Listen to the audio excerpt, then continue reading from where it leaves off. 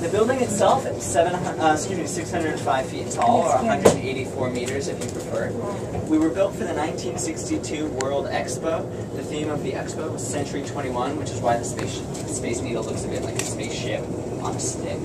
At the moment, we're looking north. This is Queen Anne Hill behind me.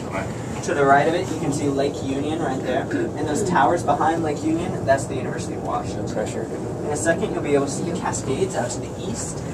And if you look to your left, that's, uh, excuse me, the Olympic Mountains on the Olympic Peninsula there. Do enjoy your visit. We're open till 11 p.m. tonight, so you have plenty of time. There's a cafe, restaurant, all of that.